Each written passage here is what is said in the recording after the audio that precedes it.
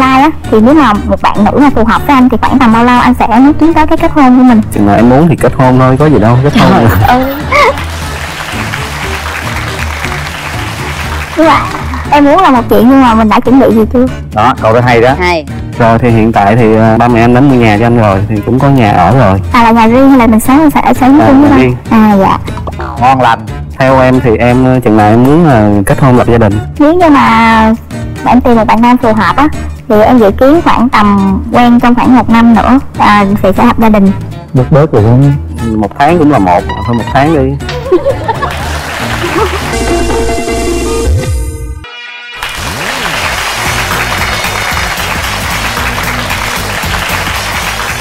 Rồi mời em trai giới thiệu về mình. Dạ à, em tên là Hàng Ngọc Long à, hiện tại em 29 tuổi đang sống ở thành phố Hồ Chí Minh à, em đang làm nghiệp nghiệp à, buôn quán à, quán ăn gia đình. À, long là buôn bán quán ăn long có nấu ăn hay không hay là long đứng bán thu tiền cho gia đình thôi? Dạ em vừa nấu em vừa đứng bán đứng bán luôn à nấu ăn luôn hả? Dạ. Giỏi vậy ta? Quán À. của mình ở đâu long hả? Dạ quán em ở quận tư á chị. À vậy hả? Bán chủ yếu là gì long? Dạ em bán bánh canh quế. Ồ ngon rồi nha bữa nào đi ngang ăn rồi nha. Mình bán từ mấy Đúng giờ rồi. tới mấy giờ dạ em bán từ à, 8 giờ cho tới à, 9 giờ tối á chị. Bữa nay đi là ch- tham gia chương trình ai bán? Dạ bữa nay phải nghỉ bán. Dạ bữa nay phải nghỉ bán. Thường nghĩ bán tội nghiệp không? Trời ơi trời. À, Bây giờ bây giờ thì, chúng ta à, hãy đến với phần à, giới thiệu của bạn nữ nè. À, chào chị Ngọc Lan, chào anh Quyền Linh và bạn nam bên kia màn. Em xin tự giới thiệu, em tên là Đặng Phương Hạnh. Hiện tại em à, 27 tuổi. Hiện tại đang sinh sống và làm việc ở thành phố Hồ Chí Minh. Công việc của em là nhân viên văn phòng về mảng nhân sự.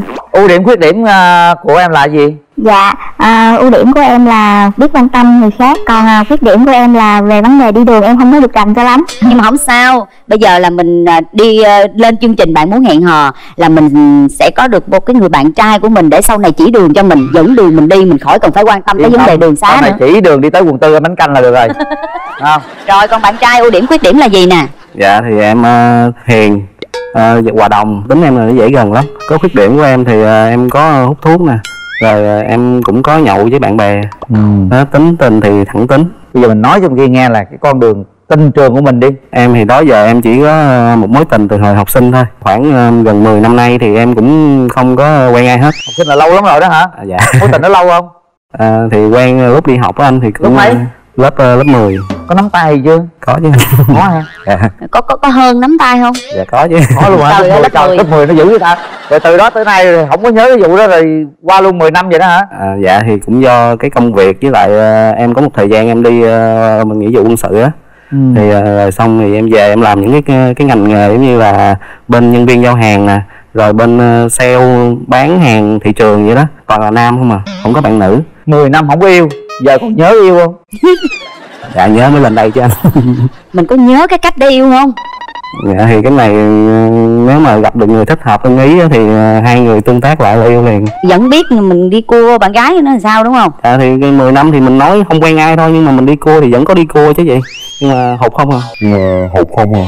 Trong tình yêu người ta nhút nhát vậy thôi. Nhút nhát thiệt. Ừ. tôi đứng đằng kia mà mắt tôi cận tới hai độ mà tôi thấy là rung tới nước mà giật giật giật, giật hết nguyên cái, cái cơ mặt luôn á. Đúng rồi sao rung như vậy? Lần đầu tiên.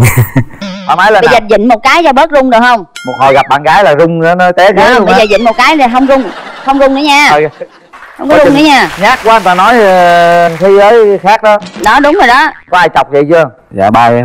Ba nói sao? Ba em nói sao không thấy dắt bạn gái về? Ừ. Không biết có bị bd không? Không biết có bị bd không? Rồi trả lời sao em nói ờ, từ từ chưa tới thời điểm. Chứ con không có bd dạ. Rồi được. Ok. Bạn trai dễ thương lắm em. Rồi bây giờ mình tới mình đi. Mình kể về cái tình trường của mình đi. Tình trường của em, em có trải qua một mối tình duy nhất hiện nay cách đây khoảng tầm 2 năm. Mối tình đó kéo dài trong vòng khoảng tầm 7 năm. Lý do là thực tế là bạn nam đó có một người khác Mà tới lúc sau này thì em mới phát hiện thôi thì chia tay là đúng rồi không có Dạ. cái gì phải hỏi nữa hết trơn trọi á. Rồi bây giờ cái mong muốn của em khi mà em có một người bạn trai á thì nó sẽ là như thế nào? Cái hình mẫu nó như thế nào? Em muốn có một bạn nam ờ, cao trên 1m7 trở lên Có công việc làm ổn định và có thể ờ, ờ, quan tâm cũng như là chia sẻ với em trong cuộc sống. Bên kia thì chắc cao hơn mét bảy cao đó hơn mét bảy. Rồi công việc thì ổn công định việc đó. ổn định bán bánh canh hàng ngày. Đúng rồi tại bán vì từ sáng đến chiều luôn. thực phẩm là không bao giờ mà thiếu Đúng hết trơn phải có. Cao lớn có thể che chở mưa gió dông bão không sợ gì hết. Bây giờ mình không thích điều gì đàn ông nè. Dạ keo kiệt. Với lại là người hay kiểu là kỹ tính quá là em không thích không Trời đàn ông mà keo kiệt mà kỹ tính mà mệt mỏi lắm à Có keo kiệt không? dạ không anh bình thường Đi chơi có ba bạn gái xà láng không? Rồi, chuyện nhỏ trời mong có bạn gái đi chơi muốn chết Chờ mong có bạn gái đi chơi muốn chết Đó được chưa? Vậy Được đó. chưa? Rồi bây giờ mình muốn ờ, một người hình mẫu bạn gái như thế nào nè dạ thì em cũng đơn giản là một bạn gái ờ, gương mặt dễ nhìn Cái này Quá dễ nhìn, nhìn là thấy luôn nhìn dễ lắm nhìn rất dễ luôn. Hiền nè quan tâm gia đình nè lễ phép với người lớn. Đó, còn gì Dạ. khó hơn nữa không? Đây dễ à. Nếu mà, mà bạn ờ, có thể mà nữ công gia chánh nội trợ gia đình càng tốt còn không thì hai vợ chồng cùng làm. Em chỉ cho làm. Rồi em chỉ cho làm nữa chứ. Đó. Nữ công gia chánh mình được không em? Dạ em biết nấu ăn. Ừ. Biết Dạ. nấu bánh canh không? dạ hiện tại thì chưa mong thì cho tương lai sẽ có được học nấu nấu món canh. Trời ơi Chỉ cần một món thôi mà bán đắt đó nha. Trời ơi tao nói giàu mấy hồi. Rồi em không thích điều gì ở phụ nữ? Lăng nhăng ừm, rồi ờ, quá kiểm soát. Quá kiểm soát Đó. À, bạn Nam ơi có thể ờ, cho mình hỏi là bạn có là công việc tiếp người thích đi du lịch không?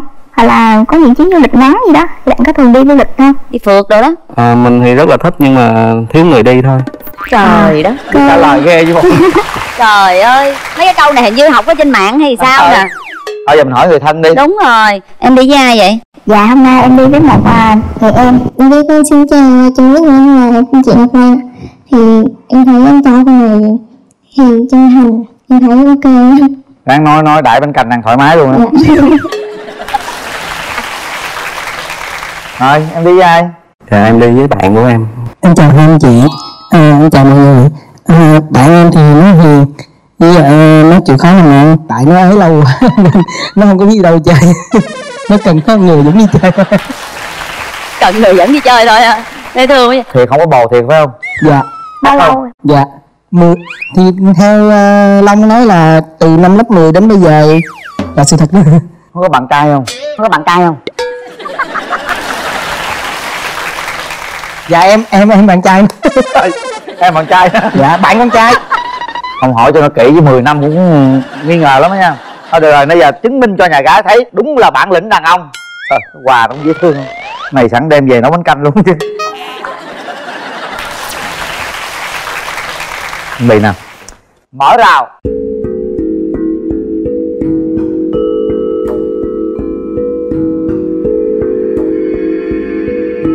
Tiến tới.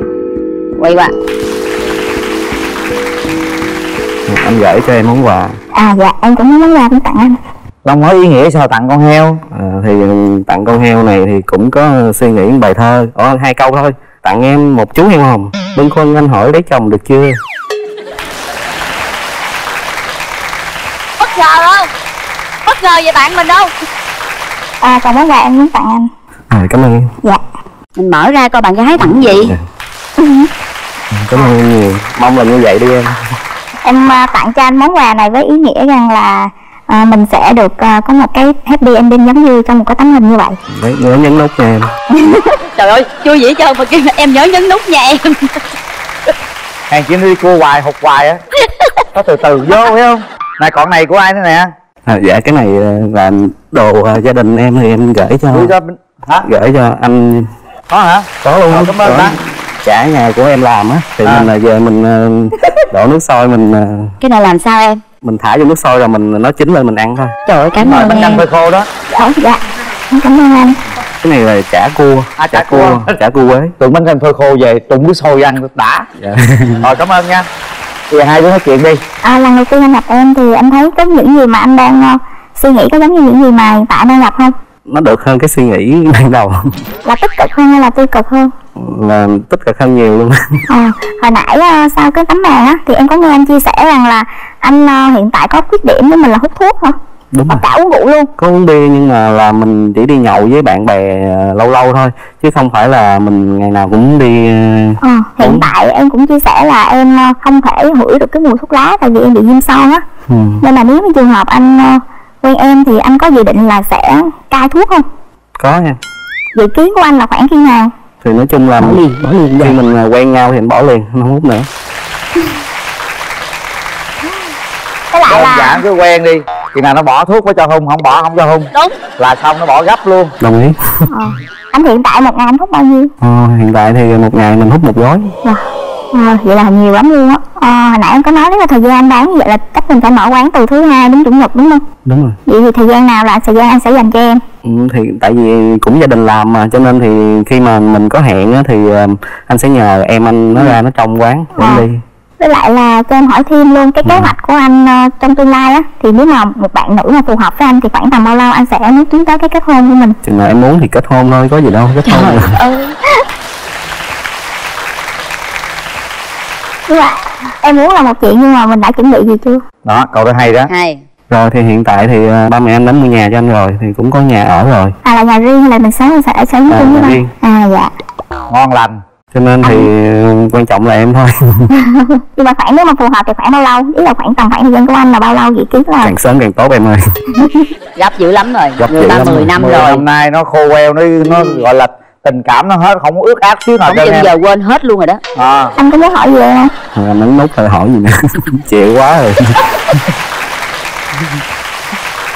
Hỏi đi hỏi người chừng nào còn em chừng nào? Còn theo em thì em ờ, chừng nào em muốn là kết hôn lập gia đình? Nếu như mà bạn tìm một bạn nam phù hợp á thì em dự kiến khoảng tầm quen trong khoảng một năm nữa à, thì sẽ lập gia đình. Bớt bớt rồi không? Một tháng cũng là một thôi một tháng đi không thì anh nói vậy thôi nói cho đùa cho vui thôi. Tại vì thì nó nói chung là mình gặp đây thì mình cũng phải tìm hiểu nhau nữa. Tại vì cái cuộc sống gia đình á thì mình là nó cũng lâu dài thì mình nên tìm hiểu kỹ nhau hơn. Dạ. Đó là càng sớm càng tốt. Nhưng mà thì thì đúng thì càng sớm càng tốt nhưng là mà mẹ mua nhà rồi chuẩn bị cái nồi bánh canh sẵn rồi. Về có làm dâu không? Em thì em thích làm dâu hay là thích ở riêng? Dạ nếu như mà được chọn thì em vẫn thích được mình sẽ sống riêng hơn. À, dạ tại vì sống riêng thì được nhưng mà tại vì mẹ anh mua nhà nhà của anh thì đối diện nhà mẹ anh. Ủa là hiện tại là đang sát bên quận tư luôn? Trong hẻm luôn em đối diện nhau luôn. Đối diện nhau thì ở riêng rồi. Tới nắm tay em hát một câu đi để bấm nút luôn nè. Để hát tặng em gái bài đi nắm hai tay thì vô. Nắm hai tay vô. Anh nắm tay. Dạ. Tay kia nữa? Bóng dáng ai đẹp xinh cho lòng ta luôn chìm đắm yeah. Người áo dài tung tăng em bước quy làm anh xinh sao yeah. Người người ơi xin dừng bước cho anh làm quen công hữu chuyện cho. Nhà của bé ở đâu cho anh xin dẫn em đi về. Thủ đất anh ơi. Lòng nói hết rút ruột mình đi nãy giờ em cảm nhận về em gái như thế nào? Ờ, hy vọng á là mình sẽ cho nhau cái cơ hội. Anh cảm thấy là rung động. Em đang ngại cái việc mà anh đang lý do như thế nào thôi. Hả? Hứa trước của anh anh hứa anh bỏ rồi dạ. Bỏ Dạ. thuốc hứa bỏ thuốc được rồi đó. Rồi thôi trở về ghế ngồi đi nào. Chúng ta đưa ra quyết định thôi. Sau 3 tiếng đếm chúng ta sẽ quyết định đồng ý hẹn hò hay không là quyền của các bạn nha. Một. Hai. Ba. Hết thời gian. Bấm chưa? Sao không bấm? Sao vậy em tại vì em thấy có nhiều cái quan điểm với lại à, bạn hút thuốc với lại nhậu. Bạn đã hứa rồi mà bạn bỏ mà. Em thật sự nhưng mà em thấy có nhiều cái trong tình cảm em thấy chưa rung động khi em nắm tay bạn. À chưa rung động. Điều này thì à, chúng ta không thể ép được. Đúng rồi. Bởi vì trong bạn mối hò bao giờ mình rung động thật sự mình mới bấm à, rất tiếc rồi đó. Em trai rất là chân thành luôn. Em gái cũng dễ thương nữa. Chị rất là tiếc Ừ. bởi vì ờ, đây là một chàng trai ờ, có chí hướng nè. Ừ.